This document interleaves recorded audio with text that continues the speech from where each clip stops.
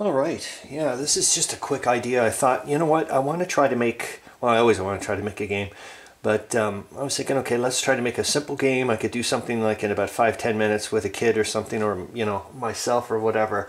And um, yet again, just simple, simple. Oh gosh, I would love to do hexes. I'll have to figure out, yeah, I'll just print out a, a 8 by 8 hex sheet or something like that because it'd be nice to do the movement that way.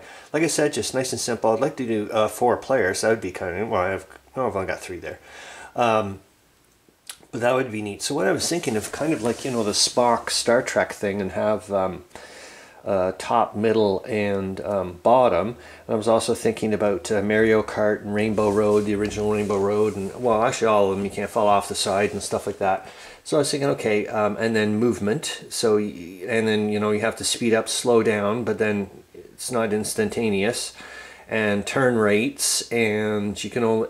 I'm just saying, super simple right now. So there's, uh, you know, how do you you can't fall off the edge off the edge and you can only go up or down one kind of thing and you can only shoot um, somebody on your level kind of thing. I just think I'm just what I'm trying to say is um, I'd like to talk about I'd like to talk this out and um, yeah I think this got it's got potential. That's it.